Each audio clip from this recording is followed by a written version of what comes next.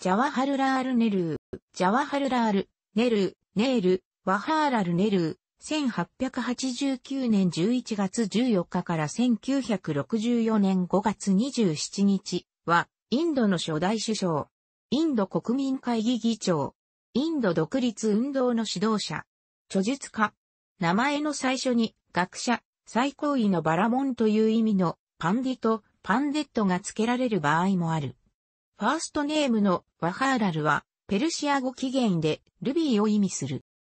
インド国民会議派の一員としてマハトマガンディと共にインド独立運動の最も著名な指導者となり、1947年に独立を達成したインドの初代首相に就任した。国際政治では非同盟運動を提唱し、第三世界の中心的人物として注目された。内政では民主主義体制を堅持して政教分離を唱え、国内の経済政策では社会主義を唱え計画経済を推進したが、成功を収めるには至らず、晩年に行き詰まりを見せる中、死亡した。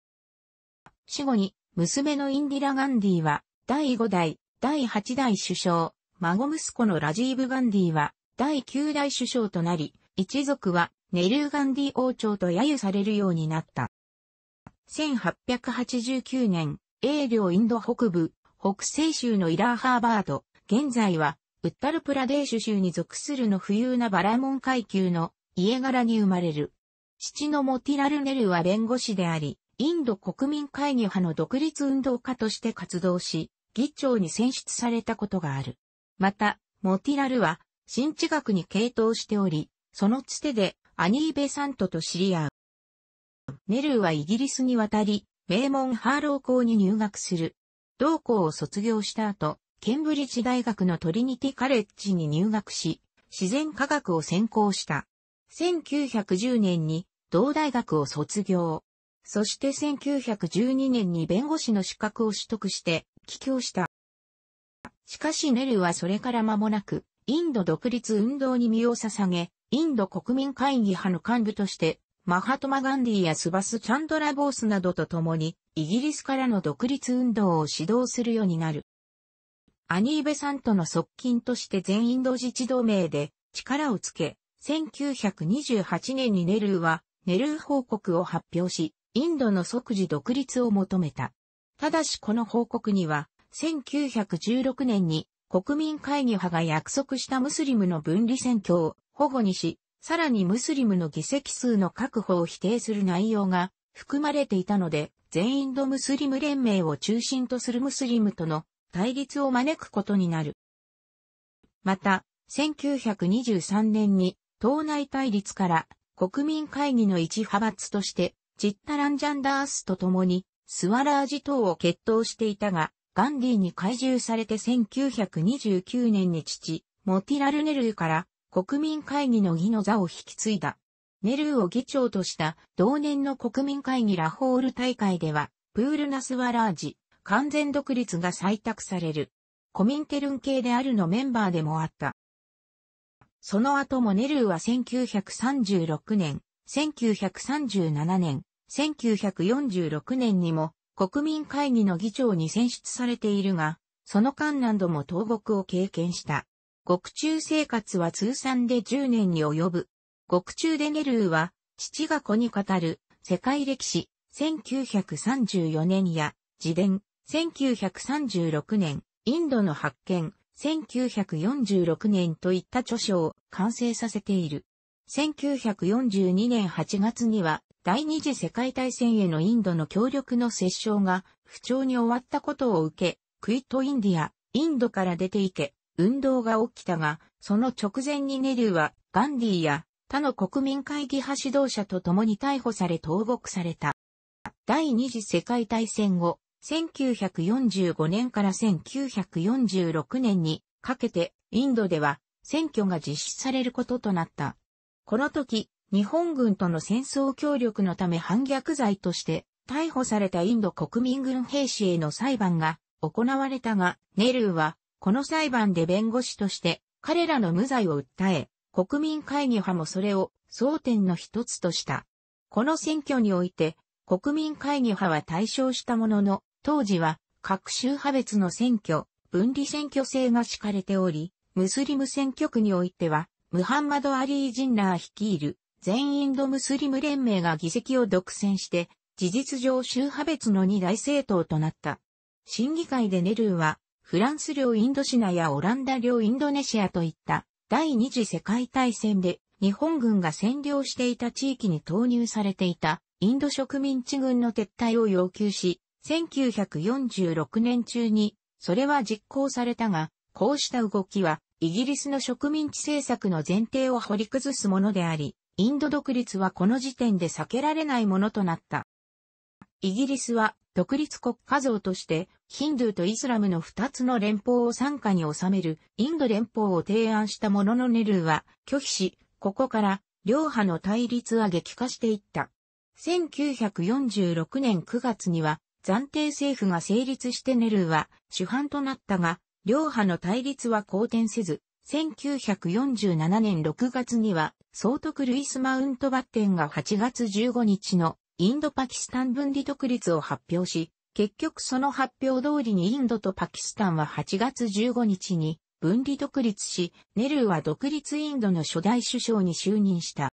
第一次、ネルー内閣は、首相、外相であるネルーのほか、副首相、内相には、反王国併合に、功のあったヒンドゥー主義よりのバルダブバーイ・パテール、サルダール・パテール、法相には、不可植民出身の反カースト運動指導者であるビームラーを、アンベードカルを任命するなど、左右両派から広く人材を集めた構成となっていた。また、閣内多数派は、議会内で圧倒的多数を占める国民会議派であったが、指定カースト連盟のアンベードカルやヒンドゥ・マハーサバーのシャヤマプラサド・ムカジーなどの野党政治家も入りしていた。ネルー政権がまずやらなければならなかったことは、独立時の混乱とそれによって発生した大量の難民への対応だった。その混乱の中で、インドの精神的指導者であったマハトマ・ガンディが、毒語間もなく、1948年1月30日に暗殺されると、国民会議派は、ネルーと副首相である、パテールの二人の指導者による二党体制となった。社会主義的で政教分離を旨とするネルーと、ヒンドゥー教寄りで、パキスタンやマイノリティに強硬な態度を取り資本主義寄りであるパテールはしばしば対立したが、1950年にパテールが死去すると会議派内にネルーに対抗できる政治家はいなくなり、ネルーは党内の指導権を確立した。ネルー政権下の内政でまず手をつけられたのは、インド憲法の制定である。憲法基礎委員会の議長には、法相のアンベードカルが就任した。インド憲法は1949年11月26日に憲法制定議会で成立し、1950年1月26日に施行された。この憲法では分離選挙の廃止と普通選挙制の導入、基本的人権の尊重、議員内閣制などが定められた。この時最も激しい議論の対象となったのは、各宗教、社会集団に対する留保措置の導入である。これまで導入されていた少数派集団、特にムスリムへの分離選挙の廃止は、規定路線だったため、それに代わる措置をどこまで認めるかが焦点となった。留保措置に一貫して反対するパテールに対し、ネルーは途中までこの問題に対する態度を明らかにしなかった1948年4月に留保措置の対象を更新書集団に限るべきという意見を表明し、最終的にムスリムやシク教徒への留保措置は認められなかった。その代わり、アンベードカルに代表される指定カースト、給付化植民や奥地の更新諸民族に対する留保措置は認められることとなり、憲法に規定がなされた。ネルー政権の内政の柱となったのは、社会主義と政教分離主義である。独立時に分離したパキスタンが、イスラム教を柱とした国家を標榜した以上、インドとしては対抗上、国民の多数を占めるヒンドゥー教徒だけでなく、ムスリムやシク教徒、その他諸宗教の信徒も含めたすべての人々を国民と認め、宗教と国家を明確に分離した態度を示す必要があった。分離独立時に大量の難民が発生したこともあり、これは宗教間の寛容や融和を示すものとして基本的には歓迎された。また政教分離を掲げることにより、反王はヒンドゥー教徒だが、住民の多くがイスラム教徒であるカシミール地方の領有権を主張することも可能になり、また少数派諸宗教のこれ以上の分離独立を拒否する根拠ともなった。内政的には普通選挙制を導入して民主主義体制を堅持し、インドを世界最大の民主主義国家とした。一方で、ネル率いるインド国民会議派は、国内唯一の全国政党であり、政治的にも、左派から右派までの包括政党として広い支持基盤を持ち、さらに各地の地方ボスの多くを抑えていた上、高い理想に基づく政治や彼の立ち居振る舞い、連結さ、さらには、マハトマ・ガンディに後継者に指名されたことなどはネルーに、ガンディに勝るとも劣らないカリスマ性を与え、国民会議派は選挙に勝利し続けた。ネルー政権下のインドは一党優位政党制国家となり、ネルーが死去するまで政権交代は一度も起こらなかった。英領インド時代には、インド高等文官、インディアンシビルサービスと呼ばれる高級官僚が植民地統治に従事していたが、従来この試験に合格する者は圧倒的に本国イギリス人によって占められており、国民会議派は高等文官のインド人化を要求していた。しかし1922年に試験を英印両国で行うようになって以来インド人の割合は急増し、独立時にはインド人の方が割合が高くなっていた。ネルーは独立後、イギリス人高等文官には全員退職を求めたものの、インド人高等文官は所得権とともに、引き続き勤務を認め、また制度もインド高等行政官、インディアンアドミニストレートバーサーベスと解消した上で存続させた。ネルー政権は国内の政治的統合にも力を入れた。政権発足時にまず問題となったのが各地に残存する反王国である。副首相であるバッラブバー・イー・パテールの交渉によって、領域内のほとどの反王国は、インド併合を選んだものの、北端のジャンムー・カシュミール反王国、グジャラートのジュナーガド反王国、デカン地方のニザーム反王国、ハイダラーバード反王国の3つの反王国併合を拒んでいた。このうち、まずジュナーガドは独立後すぐに、インド軍が侵攻して併合された。ジャンムー・カシュミールの貴族は、パキスタンとの激しい争奪戦となり、1947年に第一次インパ戦争が勃発した。1949年に停戦を迎えるものの、カシュミールは、インドの支配するジャンムー・カシュミール州とパキスタンの支配するギルギット・バルティスターン州及びザード・カシミールに分割され、さらにその後も、その貴族をめぐって、カシミール紛争が継続することとなった。ニザームはその後も独立の姿勢を崩していなかったが、1948年9月のポロ作戦によってインド軍が侵攻し併合され、最後の反王国が消滅してこの問題は解決した。反王国消滅後も、及びポルトガル領インドといった植民地が未だ残存していたものの、ネルー政権はこれらの改修も行い、1954年にはフランス領インドがインドに返還され、ポンディシェリ連邦直轄領となった。1961年にはアントニオ・サラザール政権の下であくまでも返還を拒んでいたポルトガル領のゴアなどを武力占領し、ゴア州、ダマンディーユ連邦直轄領、ダードラー及びナガル・ハベリー連邦直轄領を設置。これによってインド国内の植民地はすべて消滅した。一方で、宗教的、民族的な分離運動が抑制されたことで、民衆の文化面でのエネルギーは、言語と行政協会との一致、すなわち、言語州の創設運動へと向かった。ネルーはこの動きも分離運動につながるとして否定していたが、最終的に承認を余儀なくされ、1956年以降言語州への再編が進められることとなった。この時にほとんどの州の再編は認められたが、ボンベイ州とパンジャーブ州の再編はずれ込んだ。ボンベイ州は最大都市ボンベイ、ムンバイの扱いをめぐって、市の人口の多数を占めるマラーティ人とグジャラート人の対立が続き、調整がつかなかったためである。結局この問題は1960年にボンベイ州が分割されて、グジャラート人のグジャラート州とラーティ人のマハーラーシュトラ州が成立し、ボンベイは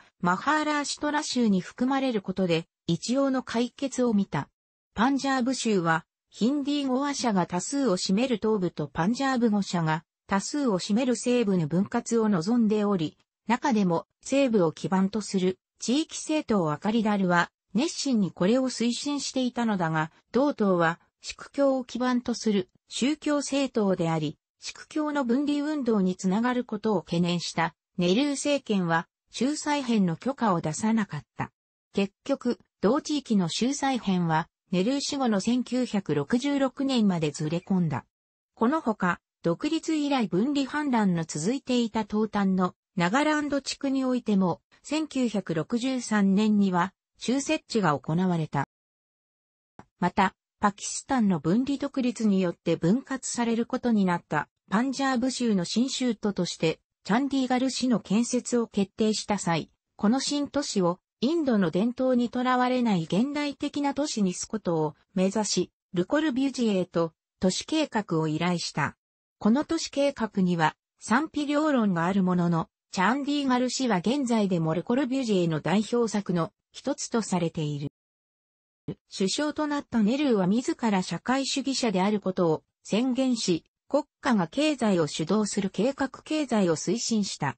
1951年には第一次5カ年計画による経済開発政策を打ち出し、その後も5年ごとに5カ年計画が発表された。特に1956年の第二次5カ年計画以降は統計学者のプラサンタ、チャンドラ・マハラノビスが中心となって、重工業中心の計画、マハラノビスモデル、またはネルーマハラノビスモデルが立案された。ネルーは企業の私有は認めるものの、民間部門に厳しい規制をかけ、公共部門が基幹産業を管理する混合経済体制を築いた。また、外資の流入を制限し、国内産業を保護して輸入品から国産品への代替を推進することで工業化を目指す輸入代替工業化政策を採用し、特に重工業を重視する一方、農業や初等教育への投資は軽視された。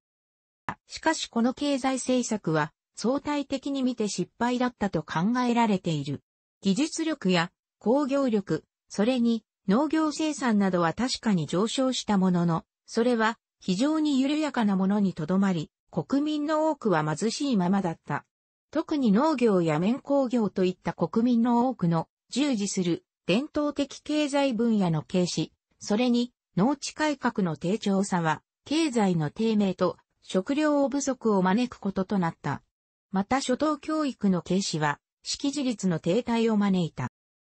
ネルーは独立時に首相兼任で外務大臣に就任し、以後もその島で兼任を続けていた。パキスタンとの関係以外で外交上まず問題となったのは、イギリス連邦、コモンウェルスとの関係だった。当時のイギリス連邦は、イギリス国王に対する共通の忠誠を加盟条件としており、立憲君主制国家であることを前提としていたので、ある。この問題に関して1948年にネルーとイギリスのクレメント・アトリン首相との間に書簡が交換されたが、この中でネルはインドは共和制を施行すること、及びイギリス連邦諸国との関係の維持を求めた。これを受けて、イギリス連邦は国王への忠誠を条件から削除し、1950年にインド憲法によって共和制を取った後もインドは連邦に引き続き加盟することとなった。国際的には非同盟、中立の外交を推進した。1950年にインドは中華人民共和国を非共産権ではビルマに次いで国家承認して最初に大使館を設置した国となった。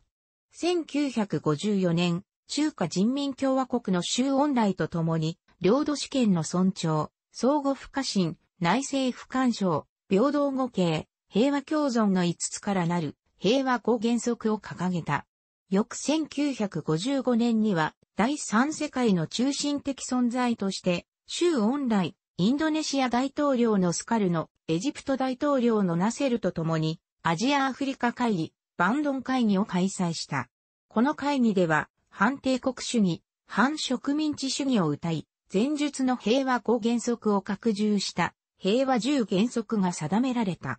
1957年には、州音大によるネルへの提案で、中院友好の証として、ナーランダ大学に現状像のシャリが分骨された。しかし、貧で地に売買、中国とインドは、兄弟を掲げてネルーが接近した中華、人民共和国とは、ダライラマ14世とチベット亡命政府をインドが中国からかくまったことや、国境線道をめぐって決裂し、1962年には中印国境紛争が勃発するが、この紛争はインドの敗北という結果に終わってしまった。1964年5月27日、ネルーは首相在任途中で心臓発作により死去する。遺体はダビに付され、墓としてシャンティバナが建立された。政権は一旦グルザーリー・ラール・ナンダーが首相代理となった後、ラール・バハードル・シャーストリーが正式に後継の首相に選出された。しかしシャーストリーは1966年に急死し、同年国民会議派は、ネルーの娘であるインディラ・ガンディを首相に就任させることとなった。妻、カマラ・ネルーとは1916年に結婚。妻もまた独立運動に参加したが、1936年に結核で死亡した。妻との一人娘に、インドの第5代、第8代首相となるインディラ・ガンディ、孫、インディラの子に、第9代首相となるラジーブ・ガンディがいる。後にこれは、ネルー・ガンディ王朝とも呼ばれるようになるが、ネルー存命中にはインディラが1959年にインド国会議総裁に就任し1年で辞任した程度で特段の世襲化の動きはなかった。日露戦争の際には日本が白人国であるロシアを打ち破ったことについて、欧米列強の植民地支配にあえぐアジア諸国民が自らの力でそれを打破することができるということを示したと称賛した。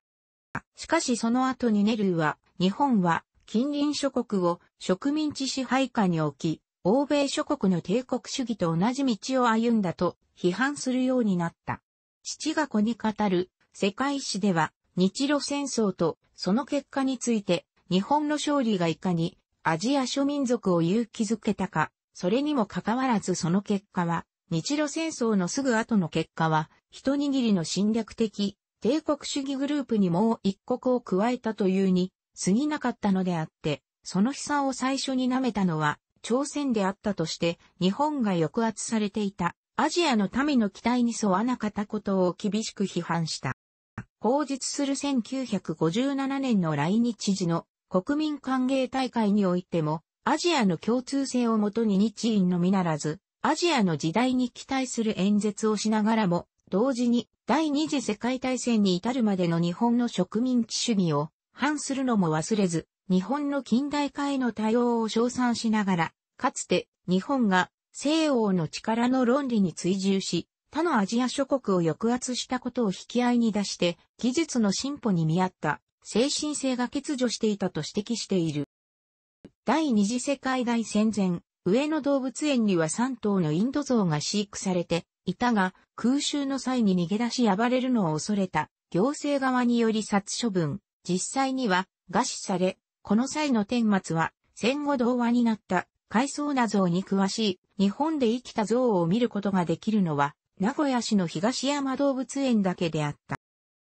東京で像が見たいという子供たちの声は時の行政を動かし、各国に象の寄贈を打診する。ネルーは日本の子供たちに象を見せてあげたいと一頭の象を上野動物園に寄贈することを知れる。この象にはインディラ、ネルーのマナ娘と同じ名前であり、彼が愛したインドの国の名そのものと名付けられ、1949年9月に上野動物園に到着、1983年に死亡するまで上野動物園のシンボルとして子供たちに愛された。